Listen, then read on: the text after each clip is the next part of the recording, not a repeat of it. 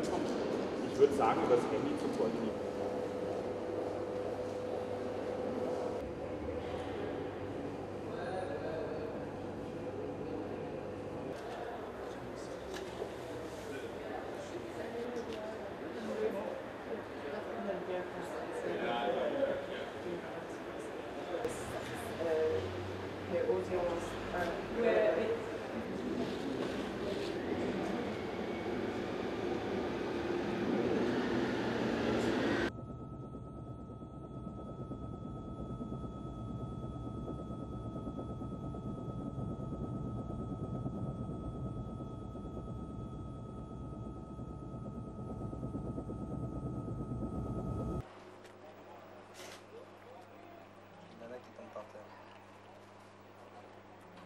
À la porte.